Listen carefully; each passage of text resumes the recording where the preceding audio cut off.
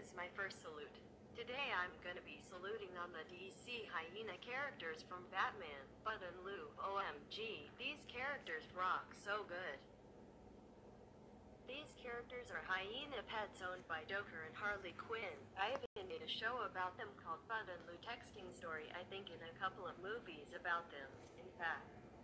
Check out my most popular video as an episode of Bud and Lou Texting Story. I'll put a link to it in my pinned comment. Go like it and check it out.